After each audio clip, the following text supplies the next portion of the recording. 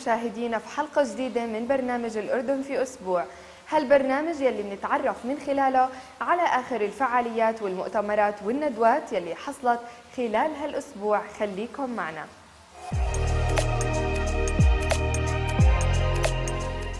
عقد فريق كيرف الخيري التطوعي فعالية للمواهب والتي تضمنت العديد من الفقرات مثل إلقاء الشعر والرسم وعرض للجمباز والغناء والتصوير وعرض مسرحيات وتوقيع كتب وروايات وزوايا للمشغولات اليدوية. تفاصيل أكثر في هذا التقرير. إيمانا بقدرات الشباب الأردني وتقديرا لمواهبهم وإبداعاتهم في كافة المجالات. قررت إدارة كيرف الجامعة أن تنظم يوما من أجل أن يعرضوا خلاله جزءا من مواهب الشباب المشاركون في فريق كيرف وتقديمهم فقرات متنوعة خاصة بالمسرح والشعر منه النبطي والموزون والفصيح. في هذا الحفل الرائع اللي جمعنا فيه عدد من المواهب الشابة. حاولنا من خلال هذه المواهب بأن نركز على توصيل فكرة بأنه شباب الأردن شباب موهوب يمتلك مواهب ولكن يحتاج إلى فرصة. وفي حال إتاحة هذه الفرصة سوف يساهم في تسليط الضوء على كفاءاته من من عدة مواهب متنوعة من الشعر والغناء والموسيقى والمسرح والفنون المسرحية. فلذلك ارتأت مجموعة كيرف بأن تقوم بمثل هذه المبادرة. وحقيقة كانت مبادرة ناجحة ونتمنى أن تستمر بشكل دائم على مستوى المملكة وأيضا نشد على أيدي كل الموهوبين في الأردن من الشباب والفتيات بأن يبادروا بالمشاركة معنا في كل ما نطرحه من فعاليات تسلط من خلالها الضوء على هذه الكفاءات الشبابية. مهم جدا أن نحن نقوم بتبني المواهب الشبابية أو الشباب بشكل عام وهذه رسالة من جلالة الملك وجهها لنا كمسؤولين أو كأفراد في المجتمع الأردني بانه نسعى جاهدا في تبني هذه الكفاءات وتسليط الضوء عليها وأيضا العمل على صقلها وتطوير مهاراتها في حال احتاجت ذلك.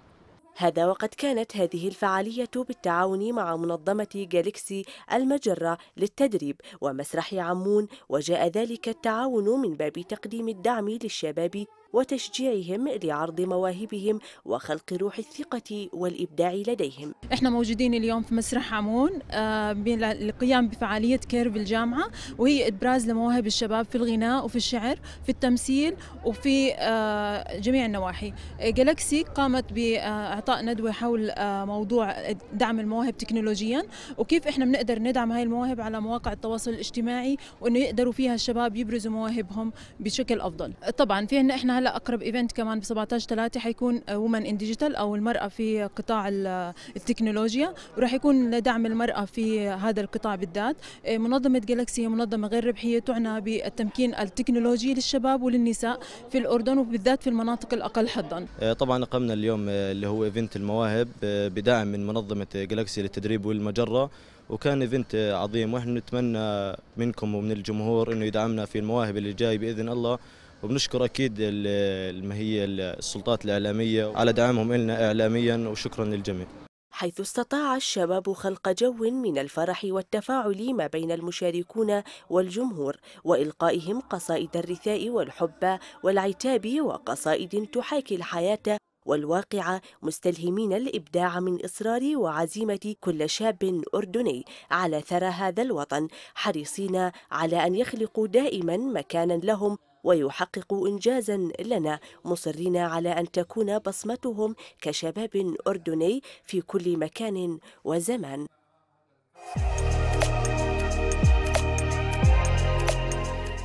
بدعوة من اللجنة التنسيقية الثقافية للهيئات المقدسية عقدت محاضرة بعنوان القدس عبر التاريخ عربية الجذور والحضارة والثقافة والمعالم والتي قدمها الدكتور عمر الغول والصحفية الأستاذة لميس البرغوثي للتأكيد على جذور تاريخ القدس عبر العصور المتعاقبة. تفاصيل أكثر في التقرير التالي. أنا أقبل هذا الكلام وهذا الكلام يقوله علماء علماء التوراة الرصينون بتنظيم من اللجنة التنسيقية الثقافية للهيئات المقدسية أقيمت محاضرة تحت عنوان القدس عبر التاريخ عربية الجذور والحضارة والثقافة والمعالم لمقدمها رئيس قسم النقوش في كلية الآثار والإنثروبولوجيا الدكتور عمر الغول. محاضرة اليوم التي تنظمها جمعية يوم القدس تتحدث عن القدس وعن تاريخها آه، عن تاريخها البعيد ما له وما عليه ما لنا فيه وما لعدونا فيه. وثم تنتقل إلى الحديث عن أهمية المقدسات آه، في القدس كيف ننظر إليها. وتنبه المحاضرة إلى أنه من الضروري عدم فصل المقدسات عن السياق الاجتماعي الحضاري للمدينة. ثم تنتقل المحاضرة في جزئها الأعظم إلى التنبيه إلى أهمية الأبعاد الاجتماعية والحضارية في المدينة وإلى أنها تمثل توثيقا صريحا واضحا للوجود العربي في المدينة من خلال عدد كبير من الوثائق التي وصلتنا منذ القرن السادس عشر تقريبا. ستستعرض المحاضرة هذه الوثائق وتبين دلالتها وتبين أنها هي التي تمثل التاريخ الحقيقي للقدس الذي ينبغي أن نتمسك به, وأن ندعو إليه وأن نضفي من أهميته على علاقتنا بالمدينة. الوثائق هذه في الأغلب جاءتنا مع العهد العثماني الذي كان حريصا جدا على التوثيق بوجه عام فلدينا وثائق المحاكم الشرعية في فلسطين في القدس خاصة طبعا ولدينا وثائق آه، سجلات الأراضي المسمى الطابو وهذه الوثائق تبين الحياة الاجتماعية آه، من مواريث ومن شراء لل من شراء لل للعقارات وتبين أيضا الأراضي المشترى ومن هم أصحابها في القدس نفسها وفي القرى المحيطة بها. المعطيات الرئيسية في المحاضرة تحدد العلاقة الخاصة للفلسطينيين والعرب بهذه المدينة وبتاريخها.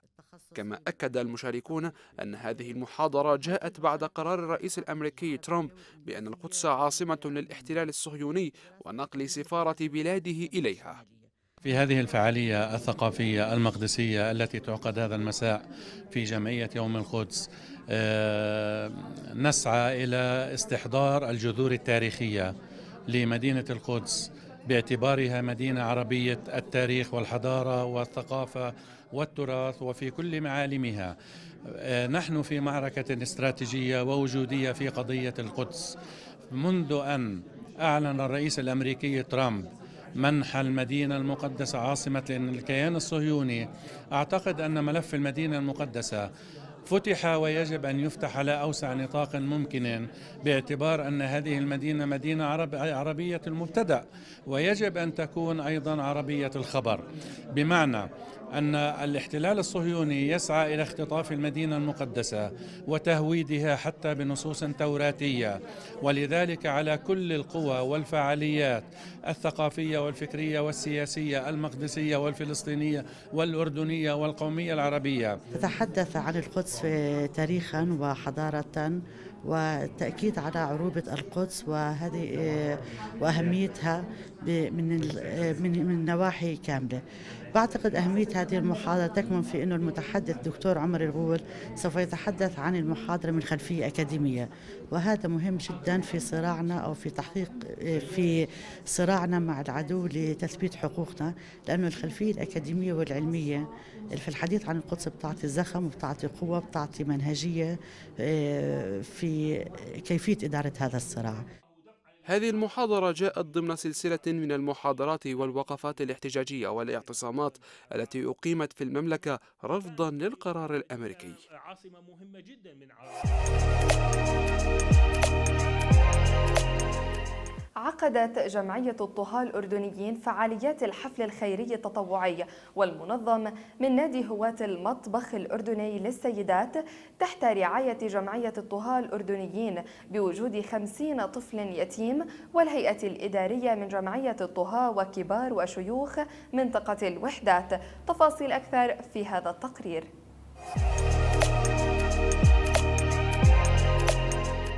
بمناسبة عيد ميلاد جلالة الملك عبد الله الثاني نظمت جمعية الطهاة الأردنيين بالتعاون مع جمعية مخيم الوحدات الخيرية حفلا تطوعيا للأطفال الأيتام في منطقة الوحدات جنوب عمان. إحنا اليوم هذا الحفل بمناسبة عيد ميلاد جلال سيدنا آه، حبينا ننظم آه، حفل للأيتام إنه آه، نجمع خمسين طفل يتيم نشاركهم نرسم على وجوههم البسمة تحت اسم نادي هواة المطبخ الأردني للسيدات وجمعية الطهاة الأردنيين. إن شاء الله يعني هي مش هي أول مبادرة لنا هاي في مع sorry بدي اعيد إحنا يعني في آه، في كل رمضان بنعمل مبادرة مع الأيتام. هاي المبادرة حاليا آه، باسم نادي هواة المطبخ الأردني للسيدات قريبا راح نرتب كمان مبادرة مع أطفال متلازمة داون إن شاء الله. العديد من الفعاليات والفقرات من رقص وغناء وشعر. تخللت الحفلة بهدف إدخال الفرحة والبهجة إلى قلوب أكثر من خمسين طفلا يتيما إضافة إلى توزيع العديد من الهدايا عليهم لتعزيز مفهوم الإنسانية والتكافل الاجتماعي. إحنا اليوم اولا بمناسبة عيد ميلاد آه، سيدنا العمر كله إن شاء الله وان شاء الله بضل تاج على رأسنا كلنا. آه، إحنا اليوم عاملين يوم خيري تطوعي منظم من نادي هواة المطبخ الأردني للسيدات وجود السيدات الهواة. وكمان رح يكون ال event كله تحت رعاية جمعية الطهاة الأردنيين. وبوجودكم طبعا قناة الأردن اليوم. أهلا وسهلا فيكم. رح نعمل يوم خيري تطوعي للأطفال. آه، بتخلل العديد من الفقرات من تزيين الكب كيك والشخصيات والرسوم آه، والرقص. وطبعا في توزيع هدايا. ورح نشاركهم كثير فقرات متعددة للأطفال.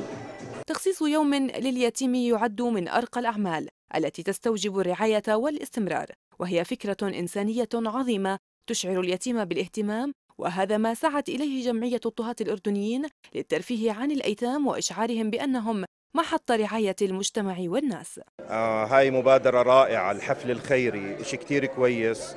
آه ندعم فيه آه الأيتام والناس اللي بنحتاجه.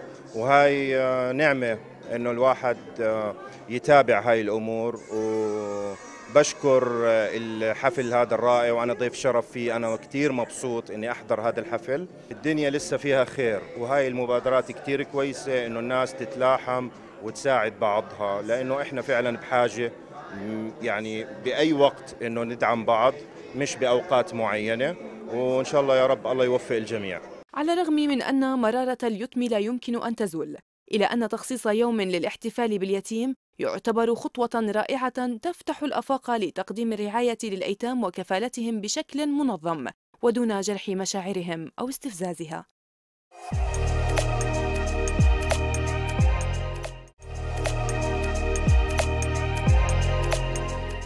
أقامت جمعية الإعلام الهادف ندوة بعنوان الجريمة الإلكترونية وحرية التعبير في قاعة غرفة صناعة عمان وجاءت الندوة بهدف الارتقاء بمستوى المحتوى المنشور عبر وسائل الإعلام الاجتماعي بحيث تكون إيجابية في تعزيز التماسك الاجتماعي. تفاصيل أكثر في هذا التقرير.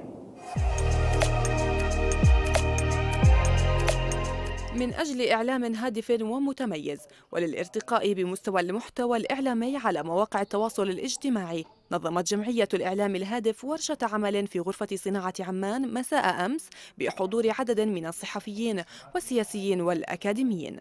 إحنا كجمعية إعلام هادف وجدنا إنه من الضروري تكون باكورة أنشطتنا وأول الفعاليات اللي إحنا رح نطلقها إن شاء الله لإشهار هاي الجمعية الحديث عن شيء له علاقة فعلا بالإعلام الهادف اللي هو إنه إحنا ما نستثمر أو نستغل الإعلام لاغتيال الشخصيات أو ل يعني ابتزاز الناس أو لتخويفهم وترهيبهم أو لنشر خطاب الكراهية. فإحنا مع تجريم من يقوم بهذه الأمور لكن من ناحية أخرى ربما إحنا آه، لازم نفكر في التعريفات وتوضيح هذه التعريفات الخاصة بالقانون أو بالتعديلات المقترحة على القانون مع التطور الكبير اللي بيصير في الإلكترونيات خاصة إنه الآن الإعلام تحديدا في ال social media أصبح إعلام رديف. آه، إحنا بحاجة إلى التأكد من الخبر بحاجة إلى التحقق من المصادر المعتمدة وفي نفس الوقت لسنا بحاجة إلى سيف جديد يضاف إلى رقاب الإعلاميين تحديدا أو انه يكون في انتقاء بتطبيق القانون خاصة إنه التعريفات الخاصة مثلا آه، بخطاب الكراهية فضفاضة وواسعة شوي. فإحنا بحاجة إلى إنه نضع النقاط على الحروف.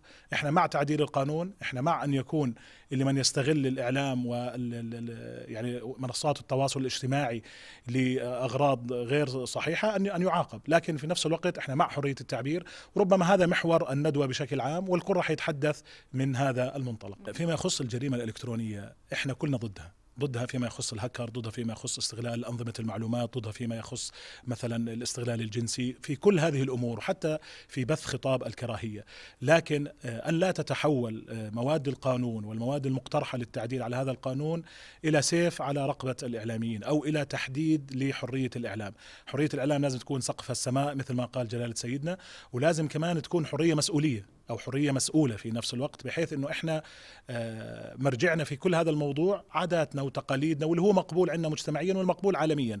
ما بدنا نفصل قوانين خاصة فينا ترهب الإعلاميين أو تخوفهم من منهم ينشروا هذه الثقافة. خاصة إنه السوشيال ميديا بالفترة الأخيرة يعني كان في بعض الأحيان متقدم على الصحافة وفي بعض الأحيان كان هو السبب في بعض التغييرات التي حصلت في نشر الأخبار اللي ممكن بعض الوسائل يعني الإعلامية يعني تتأخر في نشر هذه المعلومات. وناقش المجتمعون مشروع قانون الجرائم الإلكترونية والذي يهدف إلى ضبط وسائل الإعلام الإلكتروني وشبكات التواصل الاجتماعي بما يتوافق مع التغييرات التي طرأت منعا للاستخدام غير الرشيد لهذه الوسائل. إحنا إعلامنا يجب والحرية هي دائما لا تتعارض مع حريات الآخرين ومع شخصيات الآخرين ولا, ولا يجوز أن تنتحل الشخصيات. طبعا المحاور المتعددة لحرية الرأي والتعبير اللي بنعرفها ما تطور تطور المجتمعي اللي صار. ظهر عندنا وسائل التواصل الاجتماعي ووسائل نقل المعلومات والسرعة في نقل المعلومات. مما أدى إلى ظهور ظاهرة يعني هي ممكن تكون هي جيدة إذا استخدمناها بشكل كويس لكن ممكن إنها تكون ضارة إذا استخدمناها بشكل غير مناسب وغير لائق. وهي إنه بدأنا بنقل المعلومات بشكل عشوائي وغير مضبوط ولاحظنا بالآونة الأخيرة أنه صار حتى اعتداء على حتى اعتداء على الحريات يعني إذا أنا أنا يجب أن أحمل حرية أو أنا كشخص أو كمواطن يجب أن يكون لدي حرية الرأي والتعبير ونقل المعلومة بس لا يتعارض مع حريات الآخرين. فممكن اجى مشروع القانون ممكن يعني لوحظ فيه إنه في بعض البنود يعني تكفل الحريات لكن تغلظ العقوبات في حال إنه أنا تجاوزت تجاوزت الحريات المسموحة لي فأكيد إحنا كمجلس نواب إحنا بالعكس أنا أنا من من النواب اللي دائما وابدا أنا بحترم الصحفيين وبحترم الإعلام جدا وبعتبر إنه هذه أداة أو سلطة رابعة هي من دورها أن تحسن وتجود وتعطي المخرجات الأفضل لمصلحة الوطن والمواطن. رئيس هيئة المديريين بالجمعية المهندس موسى الساكت أكد أن الإعلام الهادف هو القادر على التأثير في الناس من خلال منظومة القيم كونه يرتكز على المبادئ والقيم الاجتماعية العليا وتعاليم الإسلام السمحة إحنا طبعا عاملين هذه الندوة اليوم آه لتعريف المهتمين بموضوع الجريمة الإلكترونية خصوصا أنه كثرة المواقع الإلكترونية وخصوصا منصات التواصل الاجتماعي مثل الفيسبوك تويتر إنستغرام أصبح الكل صحفي وأصبح الكل يحرر. فهناك خيط رفيع ما بين الحرية الذي أرادها جلالة الملك ويقول دائما حرية سقفها السماء. وما بين التعدي على حقوق الطرف الآخر سواء بالدم أو سواء بالانتقاد أو سواء بالتجريح أو سواء بث العنصرية والكراهية. فحقيقة يعني آثرنا في جمعية إعلام الهادف اللي زي ما قلت لك تركز على قيم المجتمع الأصيلي في موضوع التعريف بما يجوز ولا يجوز وخصوصا أنه تعريف المحرر أو الصحفي أو الناشر بشكل عام ما هي حدود حريته. في المقابل اعتبر مراقبون وحقوقيون أن قانون الجرائم الإلكترونية يعد أداة بيد أصحاب القرار لتكميم الجسم الصحفي والإعلامي من جهة وتقليص مساحة الحريات التي يملكها المواطن على مواقع التواصل الاجتماعي من جهة أخرى.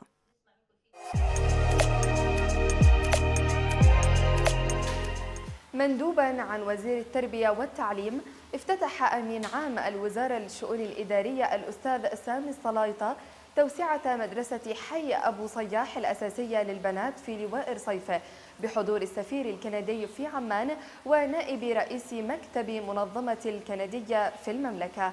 تفاصيل أكثر في هذا التقرير.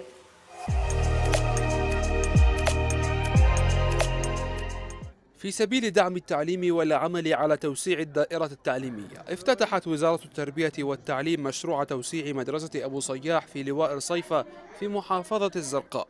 وبمنحة كندية وبحضور السفير الكندي وعدد من المسؤولين. أمين عام الوزارة أكد أن العمل جار على توسيع 40 غرفة صفية في هذه المنحة في مختلف محافظات المملكة مشيرا إلى سعي الوزارة إلى تحقيق الشراكة مع المؤسسات الخاصة. سيدي آه، حسب آه، الخطة الاستراتيجية لوزارة التربية والتعليم أن الوزارة بحاجة إلى 600 مدرسة خلال السنوات العشر القادمة للتخلص من الأبنية المستأجرة ونظام الفترتين وأيضا لتلبية معدلات النمو السكاني ضمن خطتنا اللي هو بناء 60 مدرسة سنويا.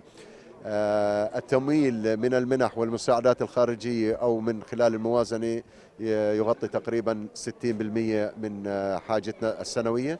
آه، هنا كان لابد أيضا من النظر آه، إلى أبواب تمويل أخرى لتأمين احتياجات الوزارة من الأبنية المدرسية. آه، في هذا المجال الآن الوزارة تعمل على الشراكة مع القطاع الخاص لبناء الأبنية المدرسية أو من خلال التأجير التمويلي بالتشارك مع مؤسسة الضمان الاجتماعي بحيث أنه نقدر لبناء ببناء 600 مد... 60 مدرسة سنويا بحيث أنه نغطي حاجتنا خلال السنوات العشر القادمة بال 600 مدرسة. هذا هذا المشروع هو عبارة البرنامج بناء 40 غرفة صفية بعدد من آه، المناطق. آه، لتخفيف من آه، الاكتظاظ بالغرف الصفية وأيضا جاء ضمن خطة الاستجابة للأزمة السورية.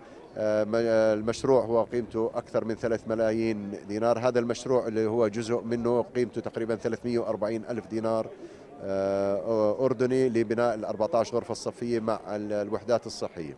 السفير الكندي من جهته بين أن هذه المنحة تبلغ قيمتها 11 مليون دولار. وتعمل يدا بيد مع شراكاتها في تحقيق المساواة وتعزيز قطاع التعليم ضمن برنامج التنمية الكندي في المملكة. Uh, has contributed uh, كندا قدمت 11 مليون دولار ليس فقط لهذه المدرسة وإنما لثمان مدارس حكومية. وهدفنا هنا تحسين بيئة التعليم. العديد من المدارس هنا تعاني من الاكتظاظ ومن بيئة تحتية ضعيفة والهدف هو جعل هذه المدارس بحالة أفضل وآمنة ومناسبة للأطفال. أبناء اللواء أشادوا بعمل الوزارة وسعيها إلى تعليم أكبر نسبة من الطلاب مطالبين بتكثيف الجهود لتحسين منظومة التعليم. والارتقاء بها.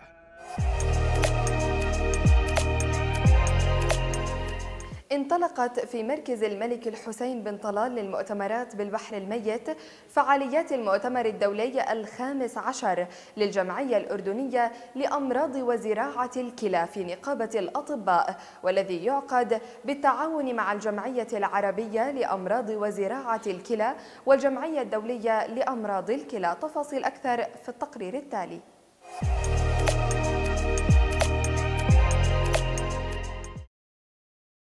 مع التقدم العلمي الذي وصل إليه العالم إلا أن البعض لا يدرك المفهوم العلمي لزراعة الكلى.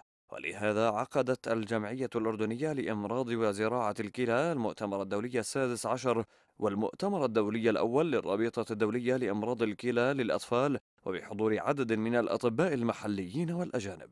إن ما يميز مؤتمرنا هذا العام هو احتضانه للمؤتمر الأول للرابطة الدولية لأمراض كلى الأطفال وحيث تتكافل جهود الأطباء من جميع القطاعات سويا سواء سواء كانوا من وزارة الصحة، الخدمات الطبية الملكية، الجامعات الأردنية، مركز الحسين للسرطان والقطاع الخاص.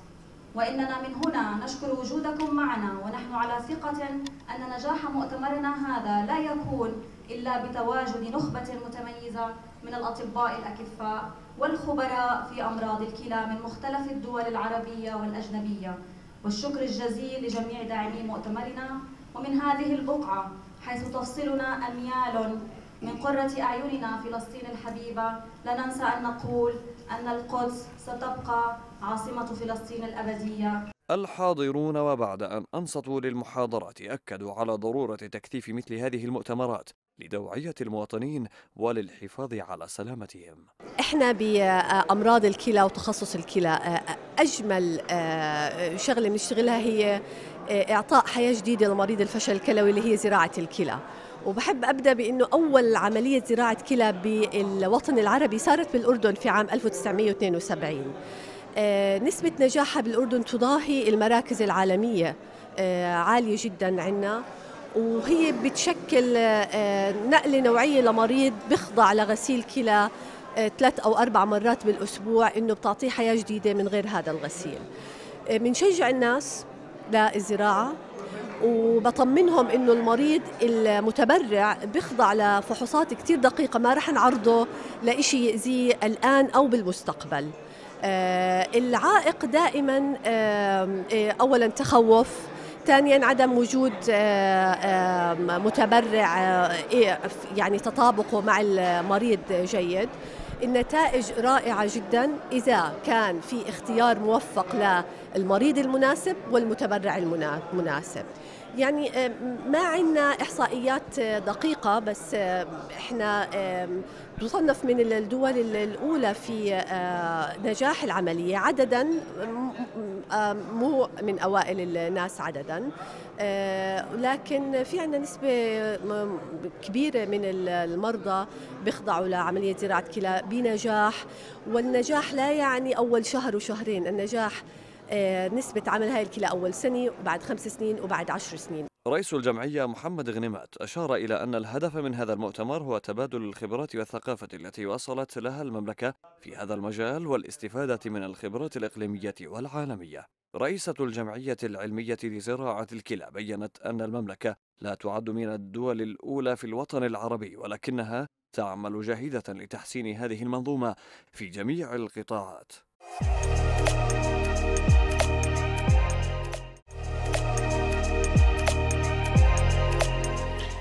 اتفق منتجون على ضرورة وجود آلية لتوثيق الرسومات الكاريكاتيرية باعتبارها شاهدا على التاريخ السياسي والاجتماعي والثقافي للشعوب.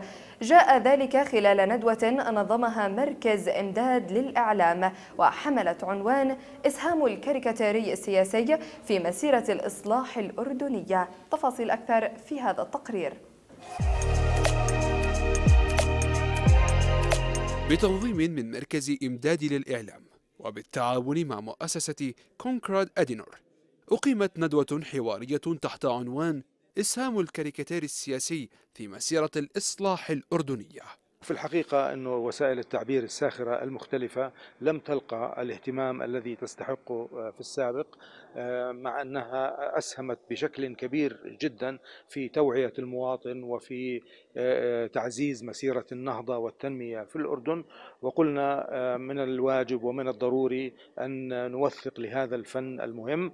واليوم سيكون معنا باحثون مختصون في هذا المجال بالإضافة إلى بعض فناني الكاريكاتير الأردنيين المعروفين الذين سيقدمون شهاداتهم حول هذا الموضوع.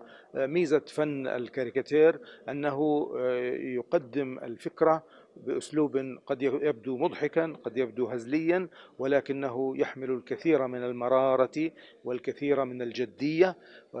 كما قال الشاعر إنه ضحك ولكنه ضحك كالبكاء. فالمهم انه الجلسة بالفعل تسلط الضوء على هذا المحور الساخن الساخن والمهم. وفي نأمل في الحقيقة أن نستطيع أن نصدر مخرجات هذا هذه الورشات المختلفة في كتاب كي يكون في متناول الجميع تعميما للفائدة. ويعرف الكاريكاتير السياسي على أنه القدرة على تبسيط وبلورة الأحداث التي تحدث في الإطار اليومي لتكون مفهومة بسرعة وبطريقة تحقق الهدف المطلوب منها. لهذا قدم كل من الرسام عماد حجاج والرسام ناصر الجعفري شهادتهم حول تجربة الكاريكاتير السياسي في المملكة. الكاريكاتير يعني آه، المحلي أو اجتهادي كان فيه آه، أنا يعني حاولت أن أقدم لقطة ساخرة محلية. آه، أنا كما ذكرت لكم محب للكاريكاتير ومتابع له. أحب كثيرا رسومات الرواد الكاريكاتير بالأردني. كما تعرفون يعني أولى الرسومات الكاريكاتورية التي نشرت في الصحافة المحلية. كانت بأواسط الستينات القرن الماضي على يد يعني رائد الكاريكاتير الفنان رباح صغير الله يرحمه. آه، المتتبع لرسومات رباح يجد فيها يعني العمق آه، الاختزال والتكثيف آه، وربما يعني لطبيعة الظرف السياسي في ستينيات وسبعينات القرن الماضي فرضت عليهم الاهتمام أكثر بالموضوع السياسي الإقليمي أكثر من الموضوع المحلي. في سبعينيات القرن ربما كانت لوحة الكاريكاتير المحلي اقتربت قليلا نحو يعني هموم الشارع. صرنا نشوف الفنان سميح حسني الفنان محمود صادق الفنان جلال رفاعي. يعني مع اعتمادهم أو تركيزهم على الكاريكاتير السياسي إلا أنه كان لهم إطلالة ويعني حضور في الكاريكاتير المحلي. ويمكن كان هذا أول يعني ظهور للكاريكاتير المحلي العماني اللي ما زال الآن مستمر وموجود. واجتهادي أنا كان أنه قدمت شخصية أبو محجوب الكاريكاتير اليومي الساخر آه، بلقطة محلية عمانية ساخرة المدارس يعني كثيرة في الكاريكاتير منهم من يعتقد أن يميل الرسام إلى الاختزال والتكثيف البصري. ضحك كالبكاء. وها نحن نسلط الضوء اليوم في جلستنا هذه حول موضوع الرسم أو الكاريكاتير الساخر. ولعل هذا الفن هو من أقوى فنون التعبير وأكثرها قدرة على الوصول إلى قطاعات واسعة من الناس. وأهم سماته هي المواكبة اليومية لأوجاع المواطنين وتطلعاتهم. ومن حقنا في الأردن أن نشعر بالفخر أن مسيرة الإصلاح التي يقوده صاحب الجلالة الملك عبد الله الثاني بن الحسين المعظم تحقق إنجازات مستمرة وتسير في الطريق الصحيح لما فيه خير الوطن والمواطن.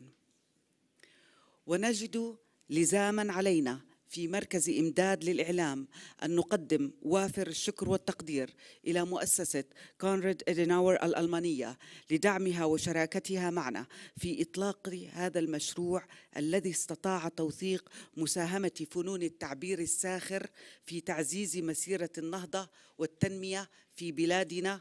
وتم خلال الندوة عرض فيلم حول تاريخ الكاريكاتير السياسي في المملكة لعدد من الرسامين وعرض مسرحي ساخر.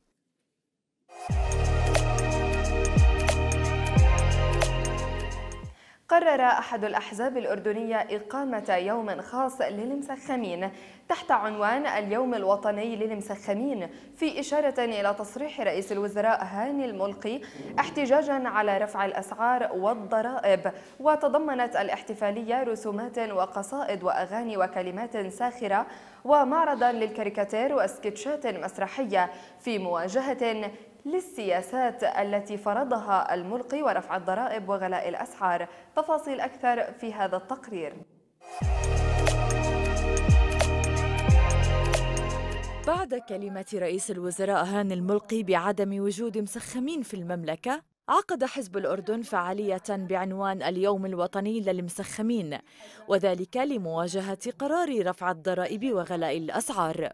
رئيسة الحزب رولا الحروب أشارت أن الهدف من هذه الفعالية لتثبت للحكومة بأن أغلبية المواطنين وفي كافة محافظات المملكة يعانون من قلة الموارد. هذه رسالة لدولة الرئيس هاني الملقي اللي بيعتقد أن الأردن ما في مسخمين.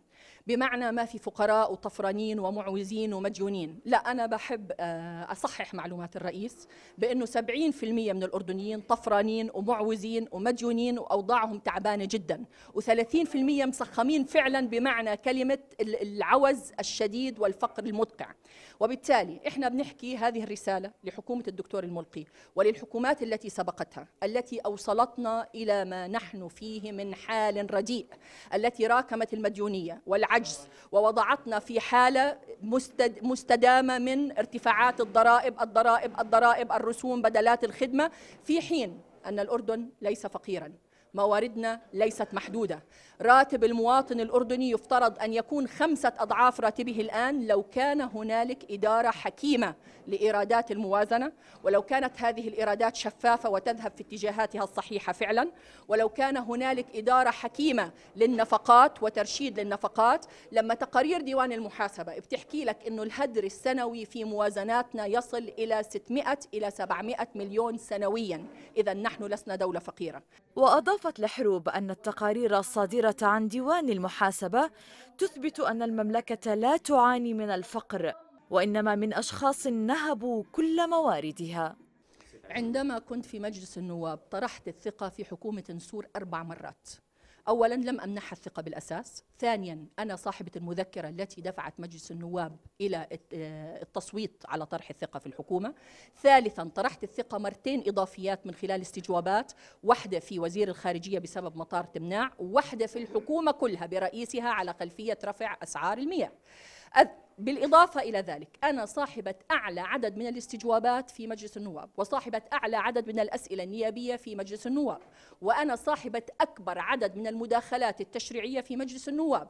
يعني لم يبقى شيء كي نقاوم به هذه السياسات ولم ننتهجه ولم نفعله. ولكن لست أنا من ينتخب النواب الذين يشكلون الأكثرية النيابية ويأتي بهم إلى قبة المجلس ليفشلوا كل حراك وطني تحت القبة.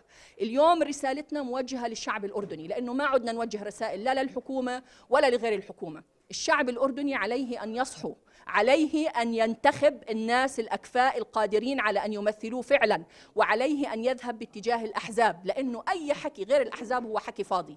إذا ما كان المجلس القادم مجلس حزبي قادر على تشكيل أكثرية نيابية حزبية تشكل حكومة برلمانية لها رؤية سياسية اقتصادية اجتماعية واضحة المعالم تحصل على شرعيتها من صناديق من صناديق الاقتراع إذا إحنا حنستمر في تدهور إلى تدهور إلى تدهور وعنق الزجاجة اللي مرة بيحكوا عنه في 2015 ومرة في 2017 ومرة في 18 ومرة في 19 ومرة في 20 وهم مش عارفين ولا عندهم أي مؤشرات إمتى حيطلعوا من عنق الزجاجة. عنق الزجاجة هذا ما راح يصير عنق زجاجة هذا راح يصير كلاب يخنقنا جميعا إن لم يتغير هذا الحال.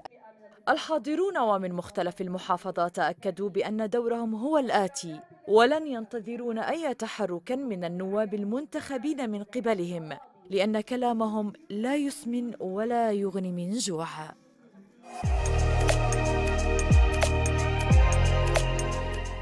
قال مدير الأمن العام اللواء الركن أحمد سرحان الفقيه إن العلاقة التشاركية بين جهاز الأمن العام والمواطن أسهمت في الحد من الجريمة والتقليل من الحوادث المرورية والظواهر السلبية التي يرتكبها البعض. تفاصيل أكثر في هذا التقرير. المواطن ودوره في المنظومة الأمنية. هذه كانت عنوان المحاضرة التي ألقاها مدير الأمن العام أحمد الفقيه في جامعة اليرموك لعدد من الطلاب والطالبات وبحضور العديد من المسؤولين في المحافظات. الفقيه وبدوره أشار إلى أن الأجهزة الأمنية وصلت إلى مرحلة عالية المستوى مقارنة مع دول الجوار مضيفا أنها قادرة على احتواء كافة المشاكل التي تمر بها المملكة. والشباب هم الشريحة الأهم والأكبر في هذا المجتمع. هم عماد المستقبل وبناته. عليهم تعلق الآمال في مستقبل واعد خير بإذن الله. هذا اليوم هو ليس محاضرة ستلقى من مسؤول في جهاز الأمن العام إلى أبناء الوطن. هذا لقاء أخوي صريح مفتوح نتناقش فيه ونتذاكر ليس كمؤتمر صحفي ولكن ليسمع منا كل منا الآخر وجهة نظره. وهل لديه أي أفكار بناءة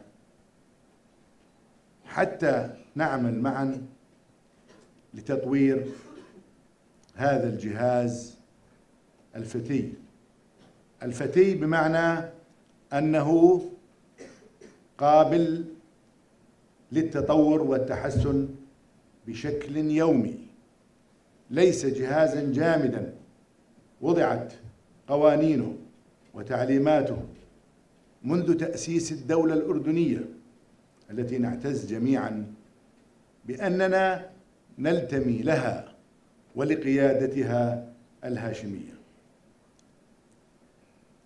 إن كل قول يصدر عن جلالة القائد الأعلى حفظه الله ورعاه. هو دليل عمل لنا ونعتبره نبراسا نلتزم بتنفيذه حتى نحقق الرؤى الملكية السامية. مدير العلاقات العامة في المديرية أكد أن هذه المحاضرة تأتي ضمن جهود الإدارة لإيصال عملية الأجهزة الأمنية وكيفية إدارتها وتوعية المواطنين لكونهم العنصر الأهم في المملكة. لقاء عطوفة مدير الأمن العام لهذا اليوم مع في جامعة اليرموك هو جزء من سياسة مديرية الأمن العام الرامية إلى تفعيل التواصل فيما بين جهاز الأمن العام وكافة الفعاليات المجتمع.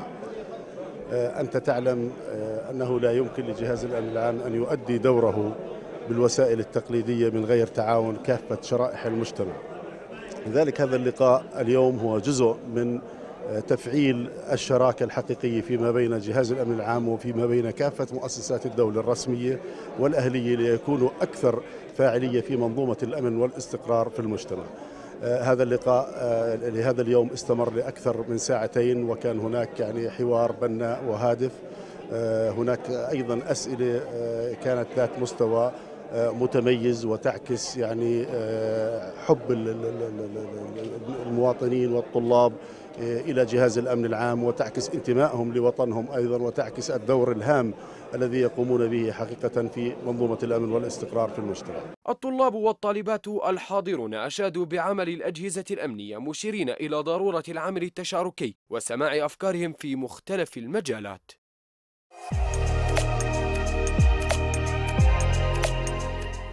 افتتحت منظمة العمل الدولية ومفوضية الأمم المتحدة السامية لشؤون اللاجئين أول مكتب للتشغيل في مخيم الأزرق للاجئين بالأردن وأقامت مفوضية الأمم المتحدة ومنظمة العمل الدولية المركز في مخيم الأزرق لتوفير تصاريح عمل رسمية للاجئين السوريين. تفاصيل أكثر في هذا التقرير.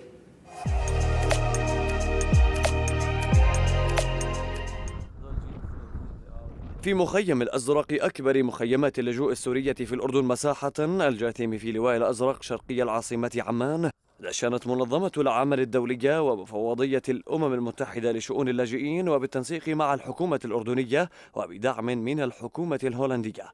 مكتب توظيف يسهل وصول اللاجئين المقيمين في المخيم إلى فرص عمل في السوق الأردني. يعني أكبر تحدي كان هو اعتماد النسبة. يأتي افتتاح مكتب التوظيف هذا ضمن جهود المملكة الرامية إلى تنفيذ ميثاق الأردن الموقع في لندن قبل عامين تقريبا والذي يهدف إلى خلق 200 ألف فرصة عمل للاجئين السوريين في الأردن. تم توفير 90 ألف وظيفة منها إلى وقتنا هذا في مخيم الزعتري وغيره. وبقي أكثر من النصف تسعى الحكومة إلى إكمال توفير الفرص بالشراكة مع منظمة العمل ومفوضية الأمم المتحدة لشؤون اللاجئين. نحن اليوم بحفل افتتاح مكتب تشغيل الأزرق واللي راح يقدم خدمات التشغيل للاجئين السوريين القاطنين في المخيم. وخدمات التشغيل بتتضمن اللي هي ربطهم مع فرص عمل خارج المخيم سواء في قطاع الزراعة الإنشاءات القطاع الصناعي والخدمات. طبعا هذا المكتب راح يكون طبعا بالتعاون مع المفوضية العليا لشؤون اللاجئين. سيسمح تصريح العمل لصاحبه التنقل داخل المخيم والخروج منه كما وسيتيح التصريح لحامله فرصة الخروج من المخيم لمدة شهر واحد كل مرة كما وسيساعد حامله من الحصول على فرص عمل في أي مكان داخل الأردن ضمن قطاعات التصنيع والزراعة والخدمات. أن تحول اللاجئ من شخص يعتمد على المساعدات إلى شخص منتج في المجتمع المضيف هو أمر جدا مهم. بيستعيد كرامته وثقته بنفسه وبصين حياته وعائلته بالإضافة إلى أنه بيكون عنصر فعال في خدمة الاقتصاد الأردني. الأردن يعني اقتصادها أجهد كثير من أزمات اللجوء. اليوم لعل مثل هذه المبادرات سد شيء من الجميل بأن يكون هؤلاء اللاجئين منتجين وخادمين للأردن. أقيم على هامش الافتتاح سلسلة من معارض التوظيف الساعية إلى تقريب أصحاب الشركات والمؤسسات التجارية من مختلف أنحاء المملكة من القوى العاملة داخل المخيم. إذ شاركت في أروقة المعرض 24 مؤسسة وشركة قدمت أكثر من 850 وظيفة شاغرة في عدة مجالات. أنا هنا بالمخيم من 2014 تقريبا اشتغلت أول إشي. ممكن ثلاث شهور أو شيء بعدين قعدت سنة ونص سنتين بدون شغل بعدين إجت منظمة العمل الدولية مع المساعدة مع المفوضية السامية والسلطات الأردنية الحكومة الأردنية هون بالمخيم فعملوا على أنه عملوا تصاريح عمل للموجودين هون بالمخيم مشان يتيحوا فرص عمل يعني للاجئين مشان تحسن أمورهم المعيشية يعني تصير أفضل عرفت شلون؟ وبتعرف أنت الواحد بدون شغل هون ما بيقدر يقعد. مراقبون ومحللون قالوا بأن مثل هذه المعارض قد تثري سوق العمل الأردنية بالقوى العاملة وقد تعمل على رفضها بأصحاب الخبرات والكفاءات في المجالات المتاحة ليصار إلى مجتمع مضاف يعيل نفسه بنفسه. اعتبر مراقبون تدشين مكتب العمل هذا في مخيم الأزرق خطوة مهمة في طريق تنفيذ الميثاق الأردني الساعي إلى خلق 200 ألف فرصة للاجئين السوريين في الأردن بهدف انخراط اللاجئ في سوق العمل الأردني وتبنيه أي لاجئ فكرة الاعتماد على الذات لانتظار المساعدات. من مخيم الأزرق للاجئين السوريين إسماعيل السلاوي لقناة الأردن اليوم.